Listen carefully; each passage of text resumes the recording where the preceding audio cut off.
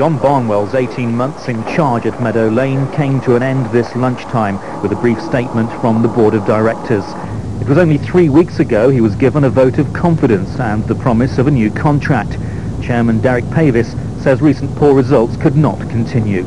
It's the most difficult decision I've ever made in my life. But John Barnwell wasn't just the manager of this football club, he was a personal friend of mine.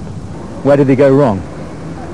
I don't know, I can't put my finger on that. I don't think if everybody's truthful, nobody can put the finger on that.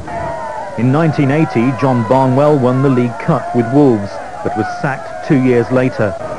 He took Notts County to within a point of promotion last season, but it was during the playoffs against Walsall that things started to go wrong. County have won just twice in the league this season, they're still in the FA Cup, though, thanks to a 2-1 win over Darlington a fortnight ago. But a home defeat last week has left them fifth from bottom in Division 3, and that was the final straw for the directors. John Newman, the former Hereford and Derby County boss, has been put in charge of team affairs until a new manager is appointed. It's the start of rugby union's